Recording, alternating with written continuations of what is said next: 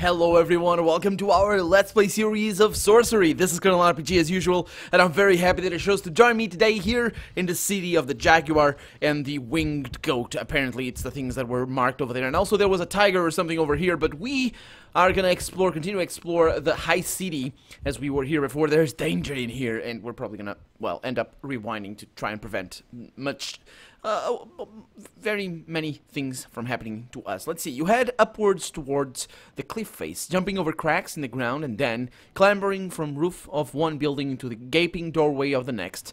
Mosaics in the floor and painted walls speak of great wealth, but their patterns can no longer be discerned. Uh, I'm gonna search closely. You search over every corner and look through every window and crack, but you find nothing. It seems that whoever that when whoever lived here left, they took everything they could carry with them. On the highest street above the city, you find a house, perhaps the grandest so far, whose stones are daubed in bright red paint. And I'm gonna go inside. You look inside the walls of the red painted house. Nothing remains, of course, just the outlines in the stone of, of a small room with a fire pit at the back. Something white lies in the hearth. Perhaps the remains of some something long since burned.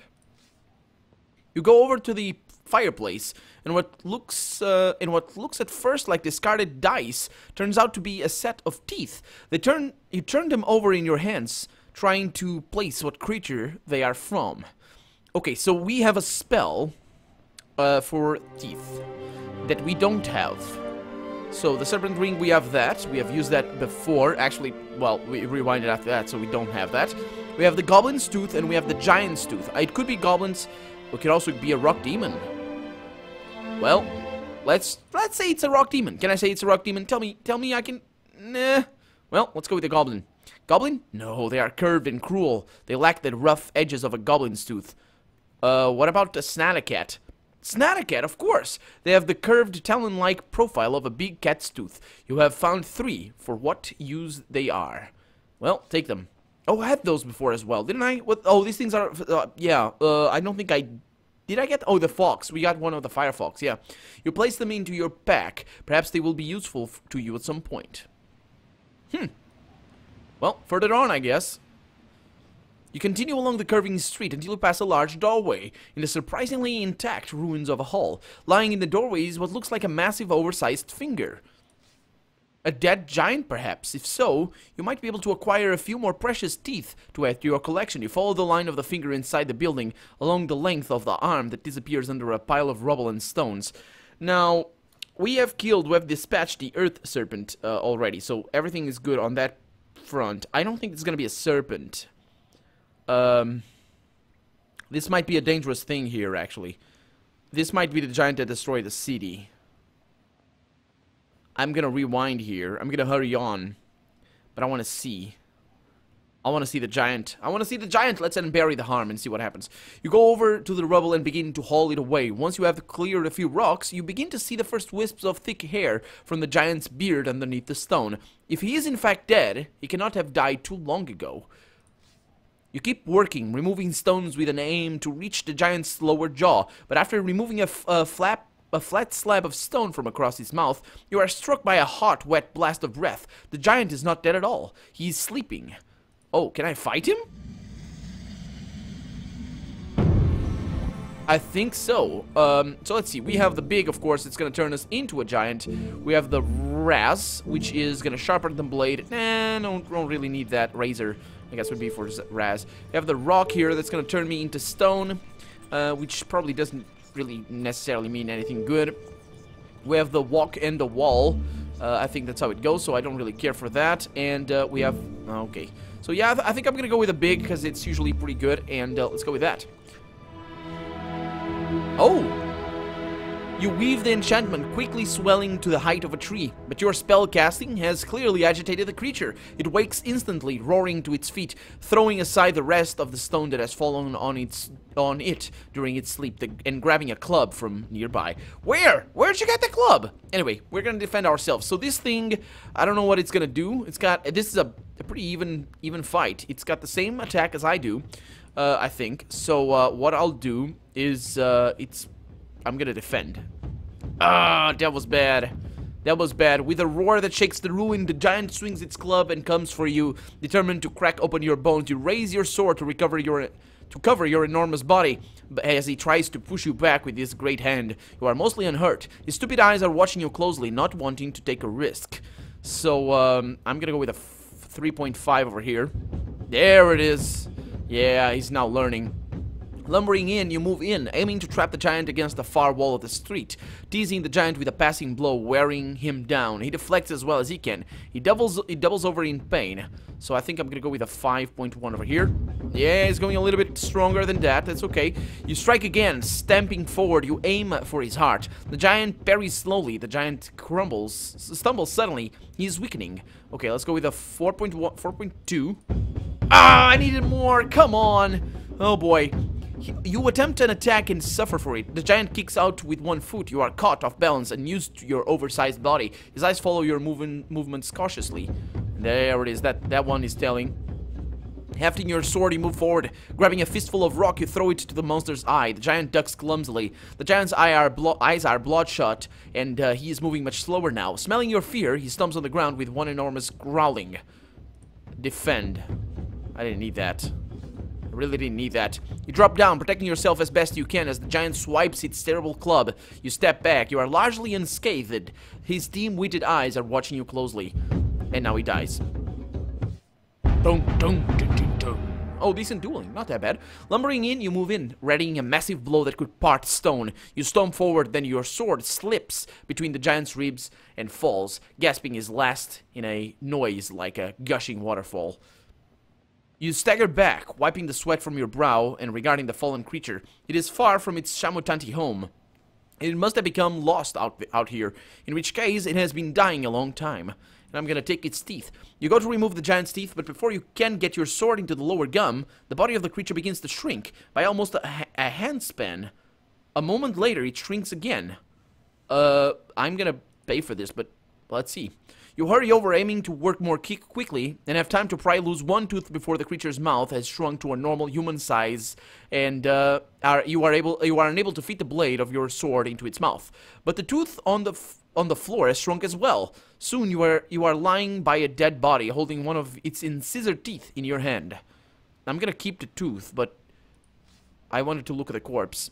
You shove your tooth into your pouch, though it is a macabre souvenir for this poor wretch. Then you leave the body for whatever wild beast inhabits these ruins at night.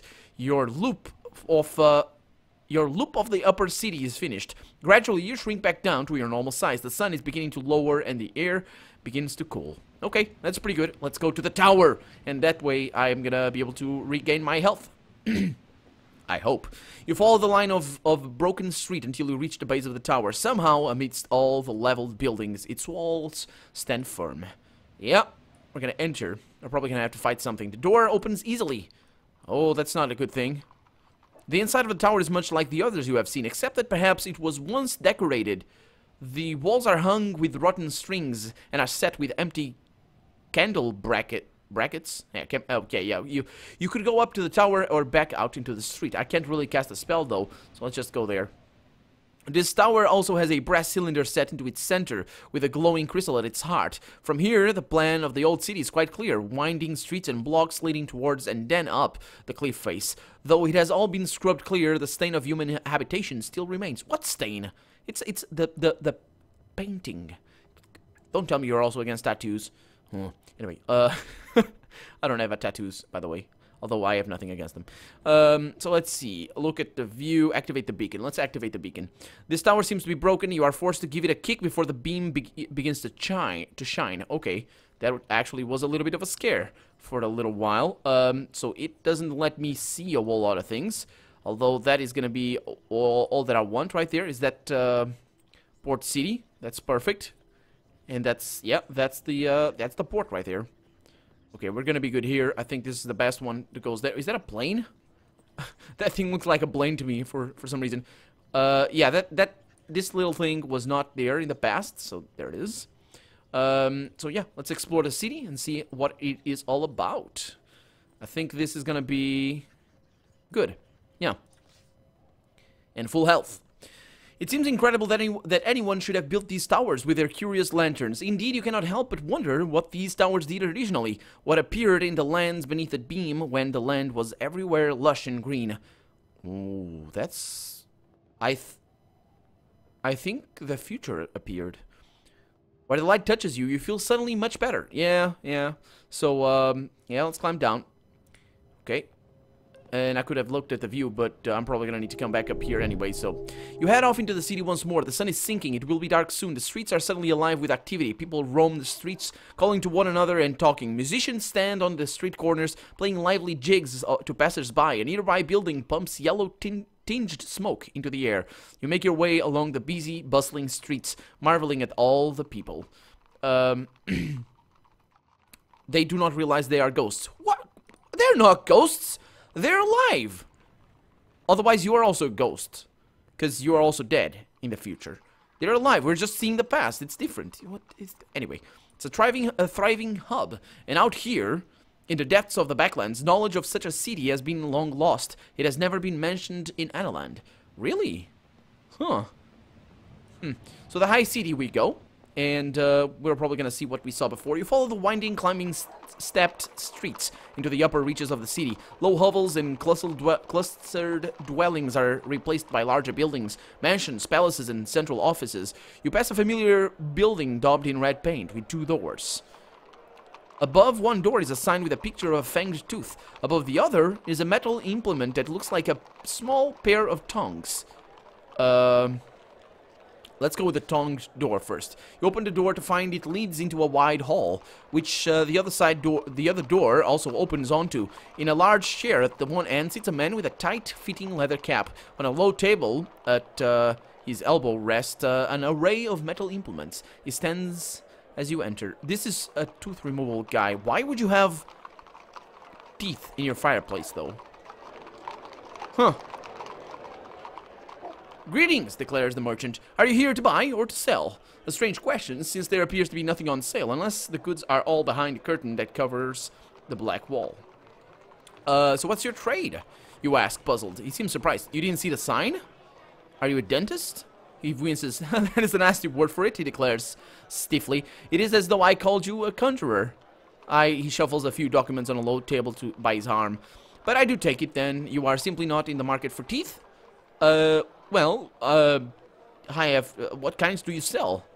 I have a few rarities in my possession today. A genuine Firefox tooth, two Snattacat teeth, and uh, my prized possession, the tooth of a rock demon. Oh, really? How much for the rock demon? Ah, he replies with a gleam. You are a man of taste, I see. Squix! Real? Is it Quicks? What? Yeah. He snaps his finger, and a stooped figure appears from the back, carrying an enormous crystal rock.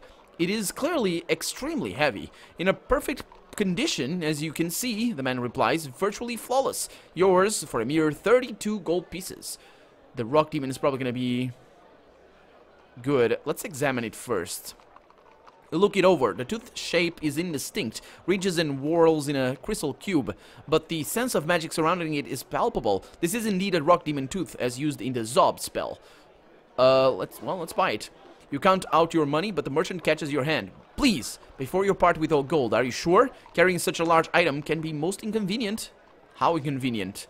Well, it's very big and very heavy, he assures you. Most tiring. Uh, yeah, let's get it. Oh!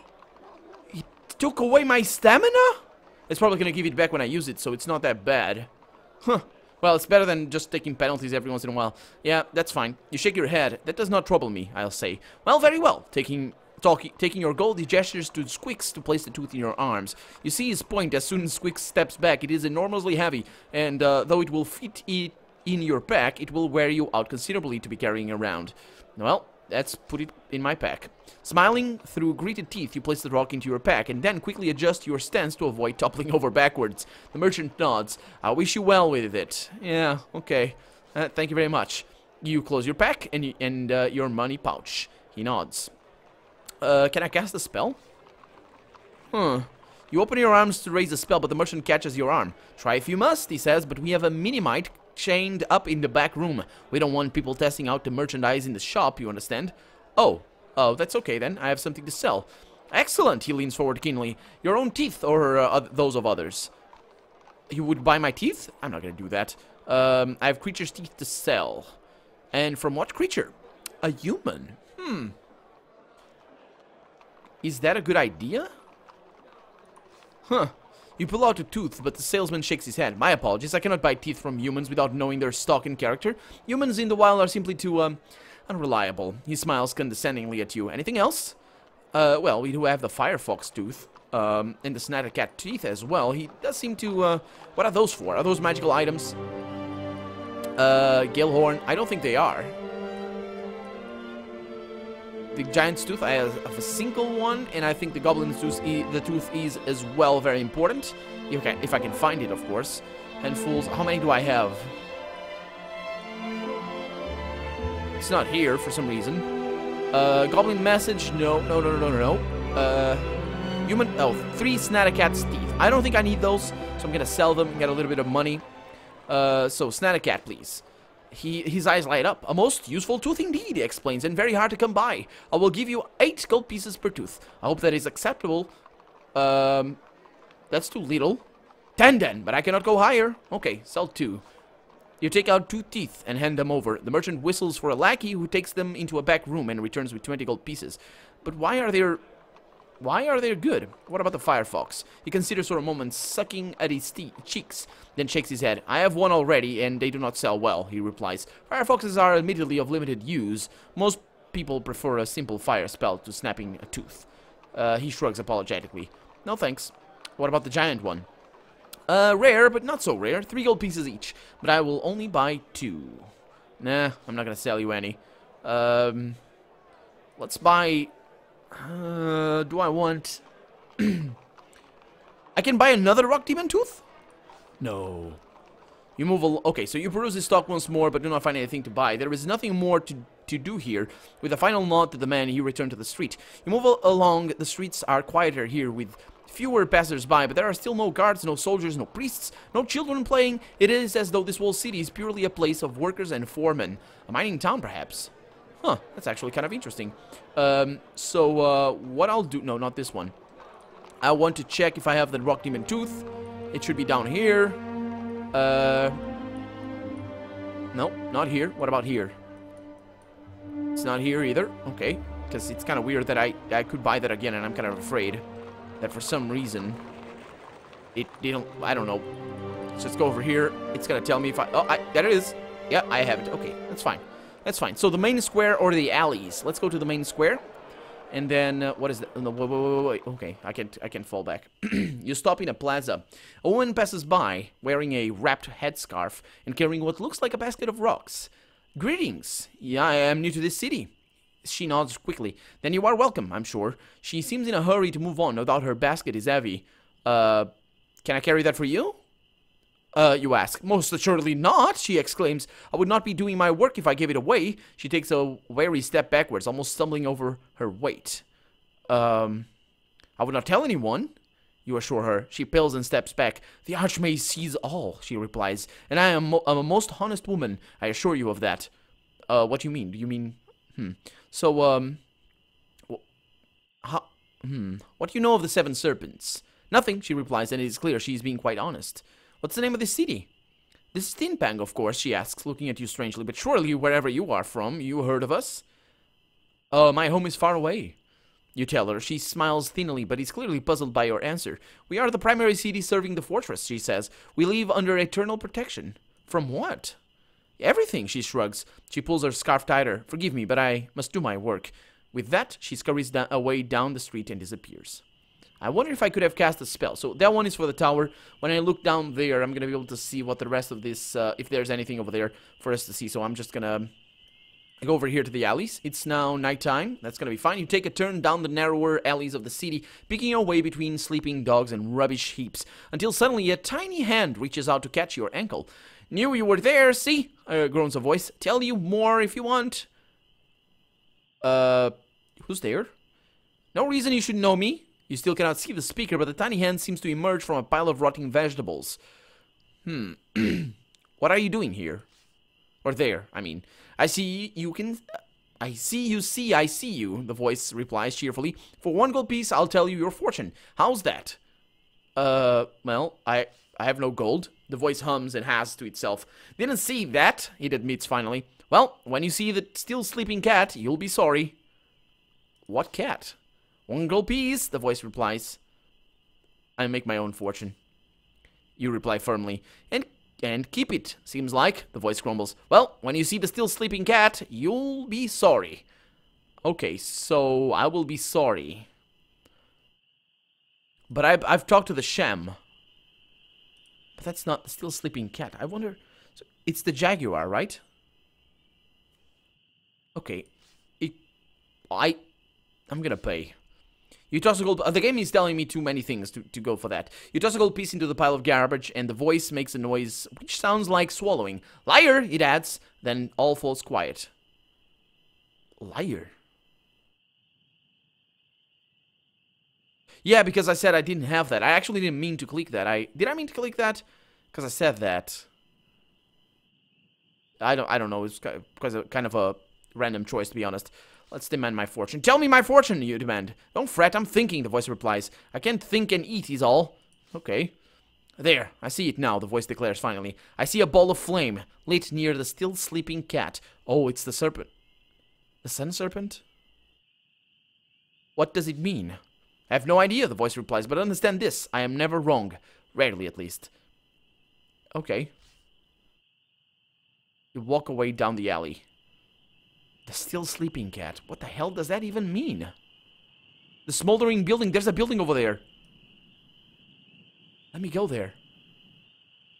There it is. You approach the smoldering building from uh, uh, smoldering building from inside.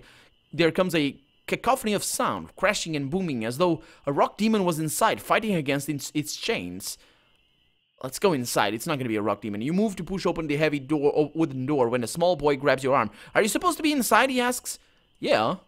You lie. I thought so, he answers. You're the overseer from Mampang. You can almost tell a sorcerer. Their eyes are rotten. Follow me. The boy talks uh, well above his age and acts that way as well. He throws open the door and beckons to you. Hmm. He's he's he's this is not this is not gonna go. He knows I'm lying. He knows I'm lying. Otherwise, he wouldn't act as well uh, that way as well. You step inside the hot, smoky interior. It's a factory. The inside of the factory is filled with uh, with a smoky yellow haze. About a hundred people are working away at workbenches. The sound of hammers strikes echo around the chamber. Oh, that's what the noise was. Uh, so uh, let's look at the bench. Pretend we know what this is all about. Look over one of the benches. It is piled high with chunks of stone. A few of the workers sort them by some criteria you cannot guess. Those they select are slid across the bench to a hammerer. The rejected rock seems to simply disappear. Okay, so let's walk, uh, watch the hammer. Although,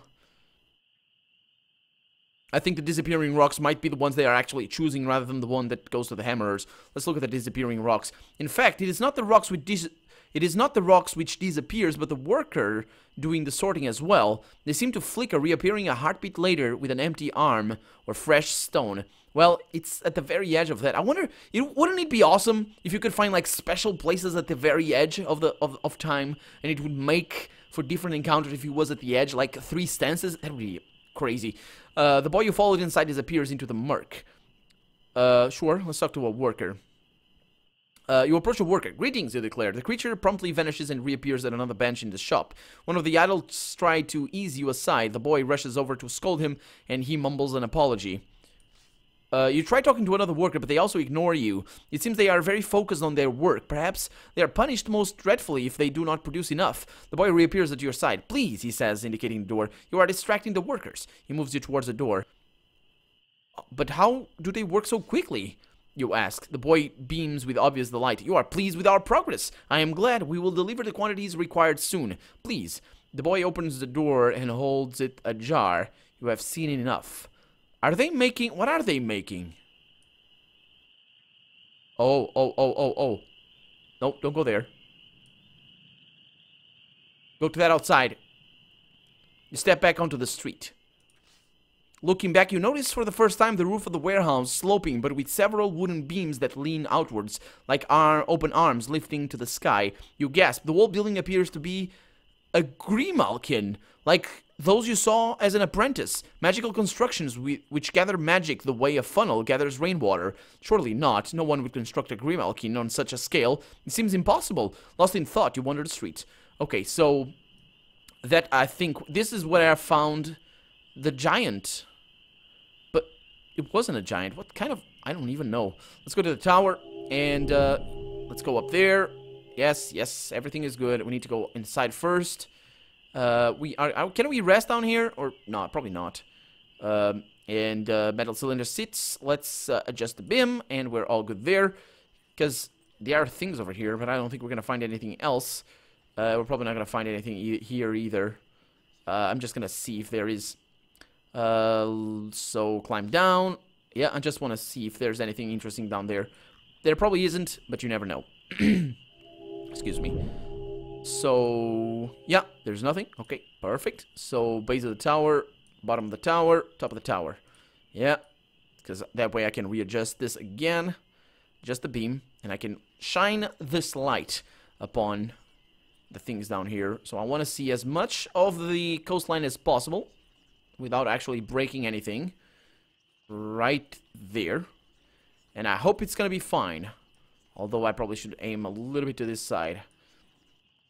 There it is. You adjust the beam around its track, sweeping the glow across the land. Yeah, let's climb down and continue with our journey. It's nighttime. We're not going to be able to sleep in here. That's kind of a bust, to be honest. Um, so, the Lost City, we have been there already, or actually we haven't. Please don't spend a day. Please don't spend a day. You leave the city by the old road. The stars are starting to fade. This is not a place to linger. Yeah, and the day is gonna pass. You lost some maximum stamina, minus 2, lost significant gold, minus 13, explored the city of Tinpang, and you defeated the Earth Serpent. So we have now defeated 3 of the serpents of Mampang. And we need still to kill time, the air, sun, and then the water or something. In, not in that order, probably. You continue following the road. In the distance, the sun breaks over the horizon. Uh, the road begins to bustle with people who seem to emerge through the dust and mist and, rum and rumble past in their carts. Let's look at that people. Of all the strange things you have seen out in the waste, this is the strangest. These people come from nowhere and go nowhere. And, oh, wait a minute, they are actually ghosts? Huh. No, they can't be. And the same travelers pass by again and again, waving the same greetings down to you. You stride on through the crowds. After a few minutes, you encounter a small girl sitting on her own and staring into the distance. You go over to her and squat down on your ankles. Greetings, little girl, you begin. And the girl looks up at you sharply. You're in the wrong place, she says. Aren't you? Um, well, in a matter of speaking, yeah. You tell her. I can see it, she says. No one else seems to notice, but I can see it. What can you see? I think it must be a curse, she replies thoughtfully. Adults are so forgetful, they forget everything. Huh. I do not understand. She points up the road towards the great stone arch at the entrance of the city. When did they rebuild that? She asks. I have seen that arch, arc broken. You tell her. She nods. I knew it! Didn't I say? You're in the wrong place. I could tell by the way you were looking at people. Are you the one that stole my parents? Uh... I don't know. She shakes her head and then stands abruptly, hitting you. She didn't hit me then, did she? I think you are. I can tell you are. No one else can see if you uh, see it, but you can. It was you, and I want them back. With that, she rushes away and is quickly lost in the strange mists. All is quiet once more. What did I just lose there? Oh, I lost, I lost stamina. Okay, that's fine. I, I'm okay with that. I'm okay with that. Okay, so she hits me for 4 damage. That's some girl right there. Uh, the road curves gently as you follow, the air stirs, and everything is good. No one stops to talk to you. Uh, and I'm not gonna go there. I'm gonna go to the lake shore. Please let me drag my guy. Thank you very much. You follow the road as it curves and bends, and finally begin to descend until it reaches the shores of the lake. All around it hustles and bustles.